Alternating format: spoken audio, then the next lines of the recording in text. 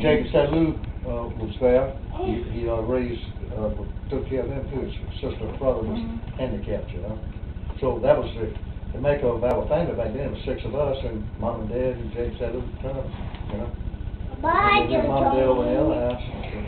Well, That's but, uh, one thing about it, John, hard work won't kill you. right. The time I was, uh, twelve years old, twelve years old, I was in the mill barn. Thirteen, I was up at four o'clock in the morning trying to go to high school and get an education.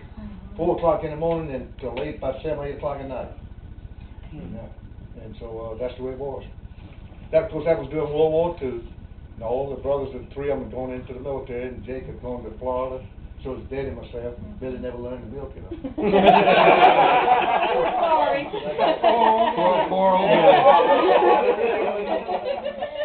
And, and, and so that was it. Uh, it was, it was, it was tough. That- that- oh my goodness, I'm sorry.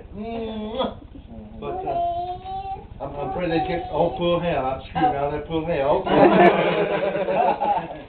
But, uh, I believe now they probably get you for child abuse of working a child like this. Yeah.